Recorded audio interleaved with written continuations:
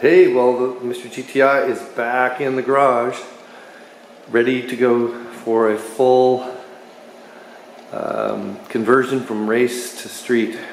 So there's a whole bunch involved here. Um, everything's going to come out of the front end, so I'll pull off suspension, the uh, control arms, the brakes, uh, axles, transmission's coming out because there's a different uh, longer fifth gear going in. Uh, the exhaust system is going to partially come out because I'm going to make some mods to that to make it quieter. Um, putting in the air conditioning system, uh, obviously putting in the original interior, and you know otherwise making this like a really nice street car, just a high performance street car.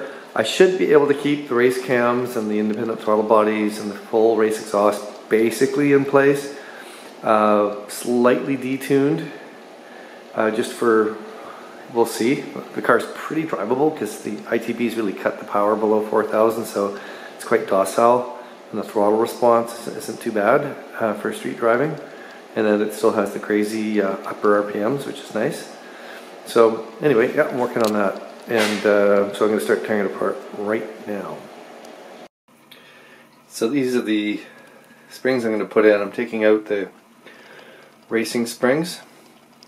So what I've got for the front, instead of 440 pounds, uh, 6 inch spring, I'm going to have a, um, a 275 and I'm going to run 225s in the front with uh, in the rear with a 150 progressive. Now most of this is going to collapse. I'll end up with about with you know corner weight in the back of 330 or 40 pounds. I'll end up with most of this being collapsed and I'll end up with about three quarters of an inch of 150 pound per inch spring rate before it switches to the 225 spring rate.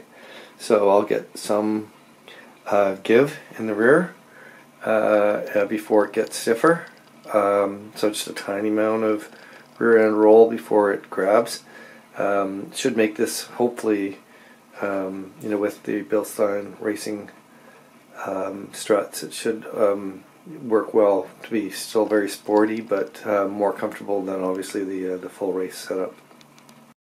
Yeah, so this is one of the tricks that I've been shown, which is to um, basically use some urethane window um, adhesive um, to uh, infill the um, the the Febi HT, like the upper upper mounts. So these things being um, uh, they have a tendency to fall apart after a few years.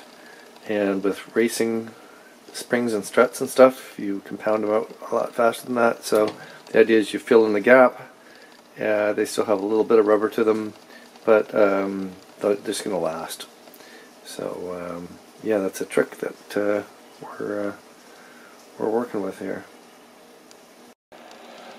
Yeah pulled out the control arms and the brakes and the suspension and the axles and all that stuff. A bunch of it's piled up here. Good uh, bit of work for the afternoon. Yeah, a couple things. One, uh, the splines going in here to the knuckles, those uh, had to get pounded out, a little bit rusty, a little bit of PB Blaster to help that. And same thing with the um, the uh, inner CV joints sometimes stick to the cups in the transmission um, differential and I used a, uh, ultimately had to use a chisel with a larger hammer to kind of grab the edge of the flange right here and kind of knock it out because uh, they're a little bit stubborn. But uh, yeah, and the stress bars are out and stuff, so I'm making some progress here. Well, I just ran a leak down test to see how the motor is doing. Um, so, you know, two, two, three, and four. And remember the engine. Sorry, you don't know this. The engine's cold. I can't fire it up. There's no oil in it. I've just started to tear it apart. But basically, I'm getting three to four percent leakage on cylinders two through four, and then seven to eight percent, uh, maybe a bit higher, nine percent on cylinder one. But it varies, and I think it's because the engine's um, kind of a little gummed up right now. I hadn't run it in a long time. It hasn't really warmed up, and the plugs are cold plugs I had in for racing. They're disgusting. And I think there's a bunch of crud because I've got those valve stem seals are leaking on the exhaust.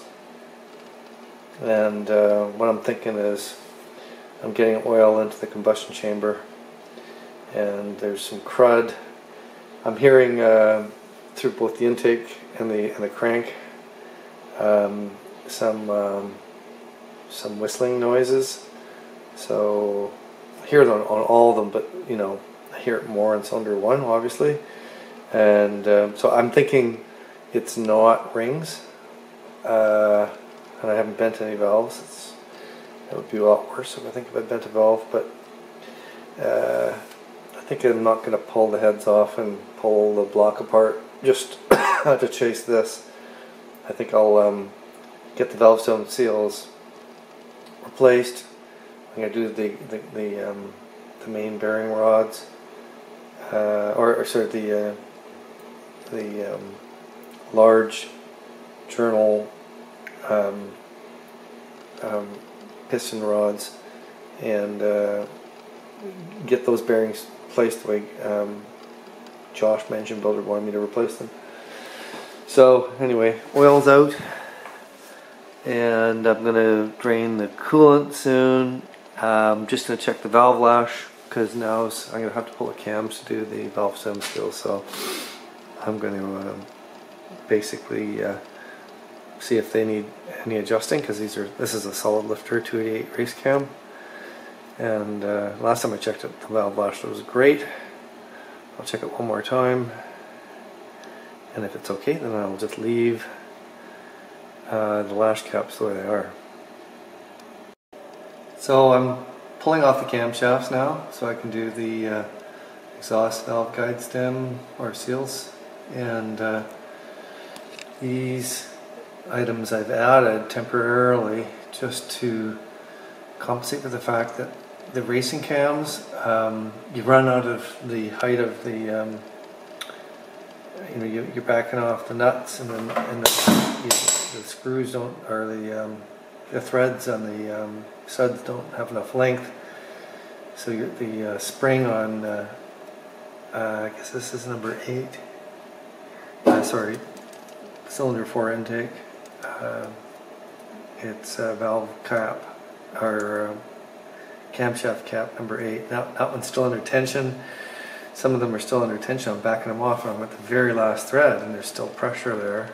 Significant pressure as the spring's trying to push this one up. So I don't want it to go flying when I get to the end of the thread. So this is my safety here.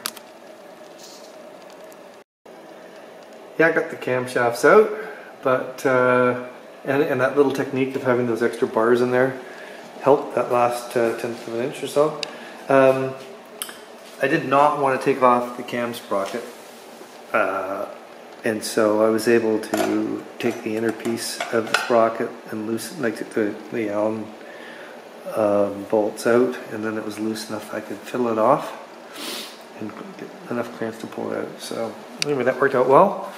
I'm only changing the valve stems, seals on the exhaust, which are the ones that are leaking. The Supertech ones suck. So I'm putting in the OEM ones. I think it's Pitron. For a 7mm stems, I have 5.5mm intakes, but I'm not changing those ones. They're Honda oversized valves.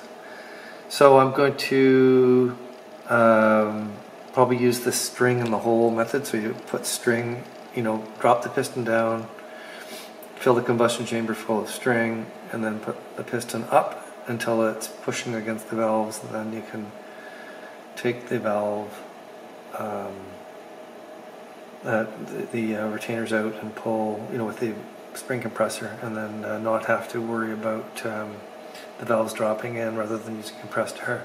I think that's what I would rather use. So we'll see how that goes. Hey, I went a little crazy.